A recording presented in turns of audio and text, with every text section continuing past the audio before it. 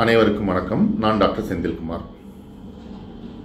இருபத்தி எட்டு வயசு பெண் திருமணமாகாத பெண் ஒருத்தர் கேள்வி கேட்டிருக்காங்க.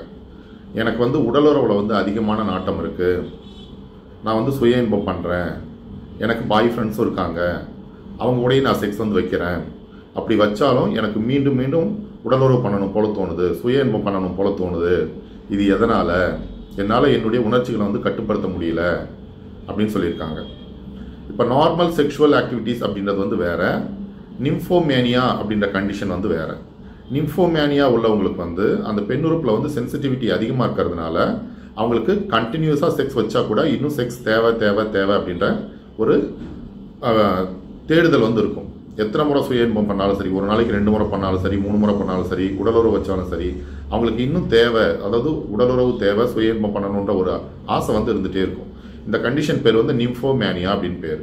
இந்த நிம்ஃபோமேனியா உங்களுக்கு இருக்கா இல்லையா அல்லது நார்மல் கண்டிஷனான்றதை வந்து நீங்களா டயக்னோசிஸ் பண்ணிக்க முடியாது.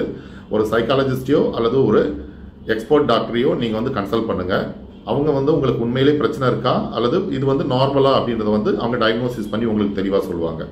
சுய இன்பம் பண்ணுறதுன்றது வந்து தப்பு கிடையாது. நீங்கள் உங்கள் ஆண் நண்பர் கூட செக்ஸ் வைக்கிறதுன்றதும் தப்பு கிடையாது. ஆனால் சேஃப் செக்ஸ் அது வந்து ரொம்ப முக்கியம். அதாவது காண்டம் யூஸ் பண்ணி செக்ஸ் வைக்கிறதுன்றது வந்து ரொம்ப முக்கியம். நிறைய ஆண் நண்பர்கள் இருக்கிறதா வந்து நீங்கள் சொல்லியிருக்கீங்க. அதனால் யார் கூட நீங்கள் செக்ஸ் வச்சாலும் காண்டம் யூஸ் பண்ணி சேஃப் செக்ஸ் வைக்கிறதுன்றது முக்கியம். உங்களுக்கு வந்து இது நார்மலான பிரச்சனையா? அல்லது நிம்ஃபோமேனியான்ற கண்டிஷனா அப்படின்றத வந்து நீங்கள் தெரிஞ்சுக்கணும். நிம்ஃபோமேனியா கண்டிஷன் இருக்குது அப்படின்னா சம்டைம் சைக்காலஜிக்கல் கவுன்சிலிங் வந்து உங்களுக்கு ஹெல்ப்ஃபுல்லாக இருக்கலாம். சில பேருக்கு ட்ரீட்மெண்ட் கூட தேவைப்படலாம். அது வந்து நீங்கள் டாக்டரையோ அல்லது சைக்காலஜிஸ்டையோ கன்சல்ட் பண்ணி உங்களுக்கு என்ன பிரச்சனை இருக்குன்னு டயக்னோசிஸ் பண்ணிவிட்டு அதுக்கப்புறம் நீங்கள் ப்ராப்பரான கவுன்சிலிங்கோ அல்லது ட்ரீட்மெண்ட்டோ எடுத்துக்கிறது உங்களுக்கு நல்லது. பட் இதை பற்றி கவலைப்படவே கவலைப்பட வேண்டாம் பயப்பட வேண்டாம். நன்றி வணக்கம்.